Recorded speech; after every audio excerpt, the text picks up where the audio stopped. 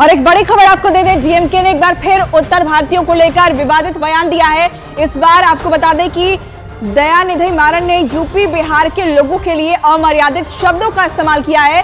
DMK सांसद दयानिधि मारन ने कहा कि बिहार और उत्तर प्रदेश के लोग, जो केवल हिंदी बोलते हैं वो निर्माण कार्यों के लिए तमिलनाडु चले जाते हैं, जहाँ वो सड़कों और शौचालयों की सफ़ाई सफ़ाई जैसे छोटे मोटे काम करते हैं। दयानिधि मारन के इस बयान का वीडियो सोशल मीडिया पर वायरल हो रहा है और इसे लेकर सियासत भी शुरू हो चुकी है। कई नेताओं ने दयानिधि मारन के इस बयान पर उन्हें निशाने पर लिया है। और वहीं केंद्रीय मंत्री गिरिराज सिंह ने नीतीश और लालू की सरकार पर निशाना साधते हुए पूछा है कि क्या नीतीश कुमार और लालू यादव हिंदी भाषी लोगों पर अपने गठबंधन सहयोगी की इस राय से सहमत हैं? उन्होंने कहा कि नीतीश कुमार को स्पष्ट करना चाहिए कि डीएमके और इंडी गठबंधन को हिंदी भाषी बिहारी भाइयों और बहनों से इतनी नफरत आखिर क्यों है?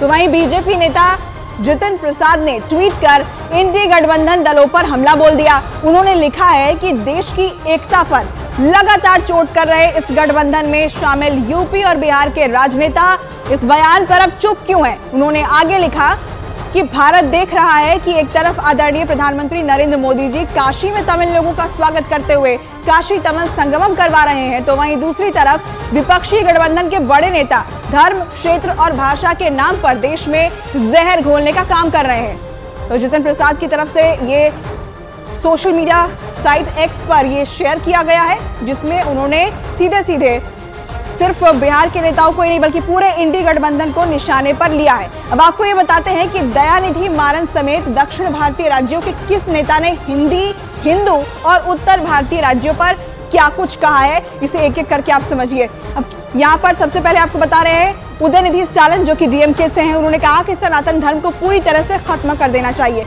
अब दूसरा नाम, दयानिधि मारन का डीएमके से हैं, वो भी यूपी, बिहार के हिंदी भाषी लोग तमिलनाडु में सड़क और टॉयलेट साफ़ करते हैं। बड़ा बयान उनकी तरफ़ से दिया गया। तो वहीं डीएनवी सेंथिल कुमार डीएमके से आते हैं। हिंदी राज्यों को हम आमतौर पर गौमूत्र राज्य कहते हैं, बड़ा बयान उनकी तरफ़ से।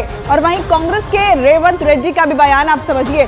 तेलंगाना का डीएनए, बिहार के डीएनए से बेहतर है तो पहली बार नहीं है। इससे पहले भी हिंदी भाषी राज्यों के लोगों को निशाना बनाया गया है।